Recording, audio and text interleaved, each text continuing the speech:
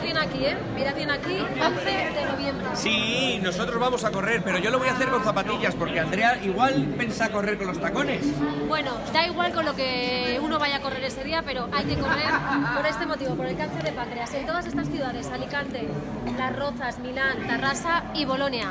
Animaros. Me gustaría más ir a la de Bolonia, pero mira, nos queda cerca las Rozas, iremos a esa. Así que ahí os esperamos a todos. Chavales, ya.